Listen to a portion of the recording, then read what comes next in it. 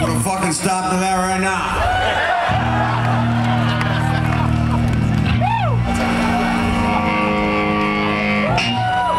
right now.